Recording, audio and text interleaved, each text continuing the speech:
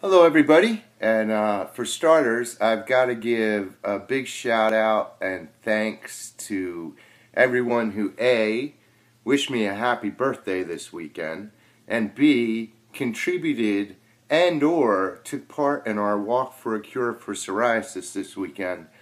Um, it was a very humbling and um, lovely few days for me, and it's it's an incredible honor to feel so loved. So thank you very much to everybody.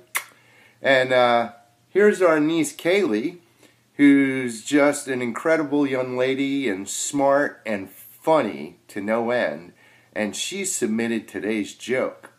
And uh, here is the joke What do you call an alligator in a vest?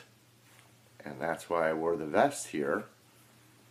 So, what do you call an alligator in a vest? Well, Kaylee will tell you, you call him an investigator. Waka, waka, waka.